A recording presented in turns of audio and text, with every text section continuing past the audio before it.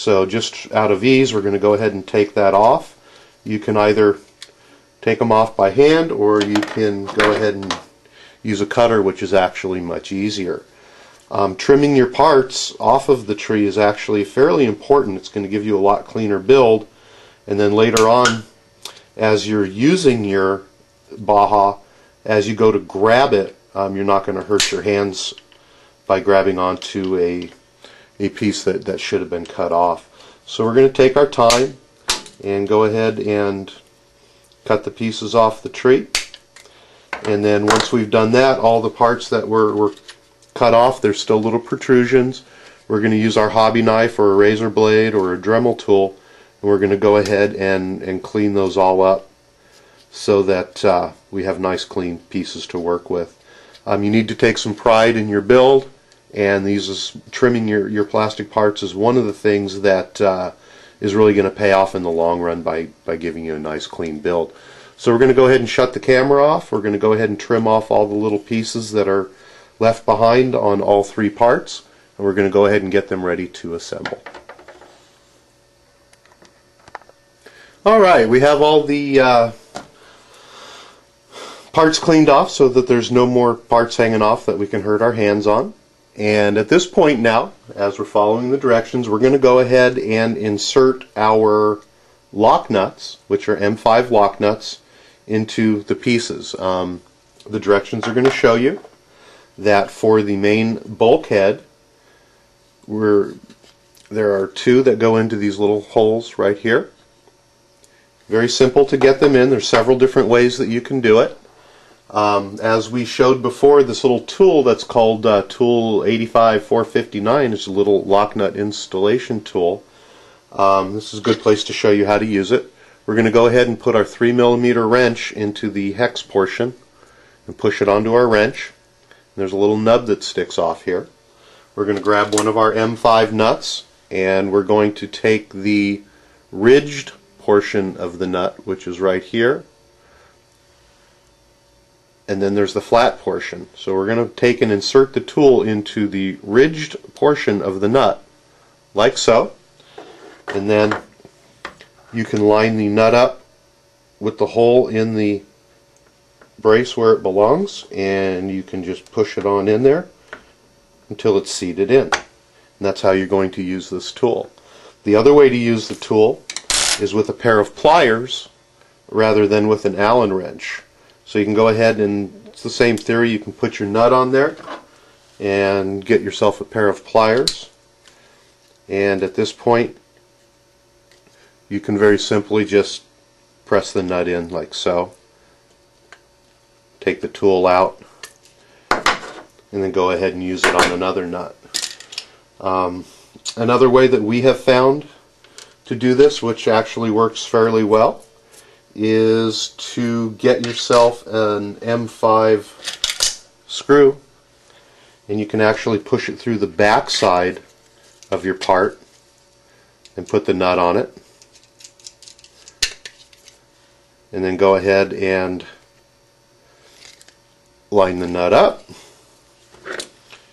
use your pliers and pull it on down into place. That's another way to do it. Um, however you choose to do it, this is something that uh, you need to do. So better get rolling. Um, there are a total of, of eight nuts that are to be used in these steps. Two go in this particular part. Well, I'm just having all sorts of problems here on our first step.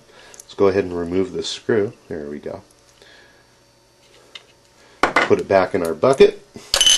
Okay, so it's calling for two screws in our in our front bulkhead part here, and it's calling for four of them in this particular brace unit. We have two that go in from the bottom and two that go in from the side. And then on this portion, it is calling for two, which go into these two areas here.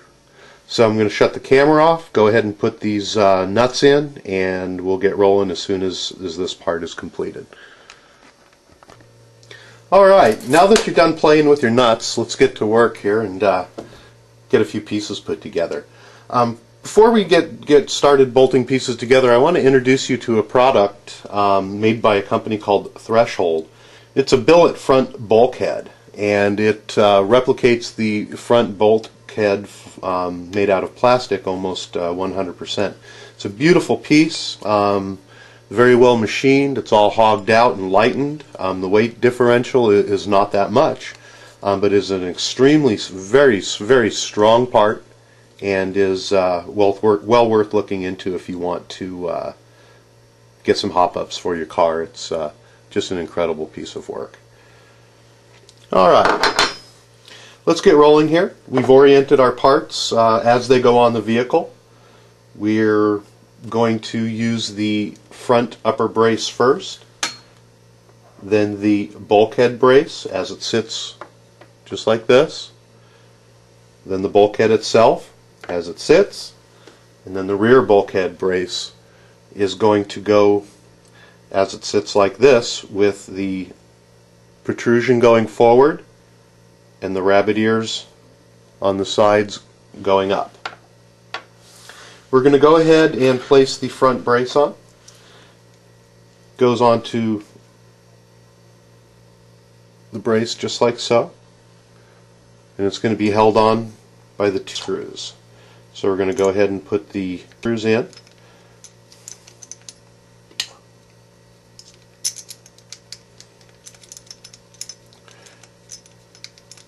Going to go ahead and grab our wrench and tighten them up.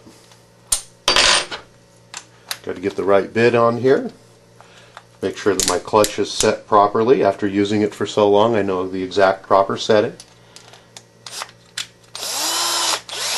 We're going to go ahead and tighten them up.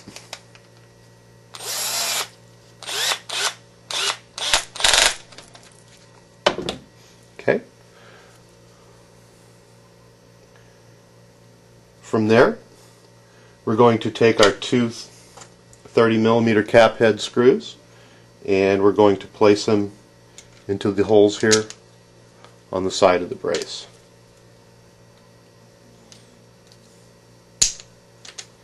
Just like so. Then we're going to slide them through these two holes on the front of the bulkhead like so. Make sure everything lines up properly. And we have the bolts protruding out the back. Then we're going to go ahead and align our rear bulkhead brace up. And again, when you do this, you can see the orientation here where the protrusion goes inside the bulkhead and the bumps go up towards the top.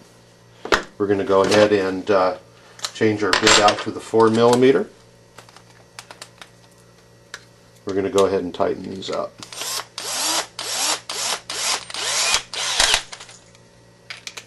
If you are using an electric screwdriver, make sure it has a clutch, and then make sure you're familiar with your tools, and set it lighter than it should be. And then you can always go back by hand and follow up, just to make sure that your pieces are, are nice and tight the way that they should be.